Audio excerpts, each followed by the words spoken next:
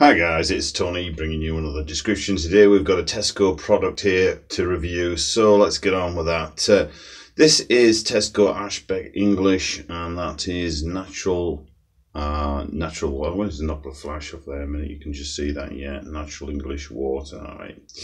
So this is sourced in Cumbria. So if you just let the camera focus in, there you go. Source in Armathwaite, Cumbria. I don't, so I think you can recycle a bottle, that's what's in it. Now I know a lot of people there is a bit it's um, a bit of a bugbear really flavoured water because some people say tap's just as good or some people say you, you know it's worth it. Depends on you but um, that's what it looks like, nice and clean. Has its spring water, it's fizzy or natural mineral water, sparkling this one. And it says it's naturally filtered. There we go, let it go, focus in.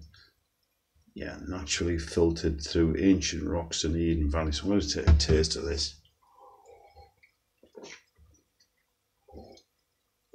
Hmm.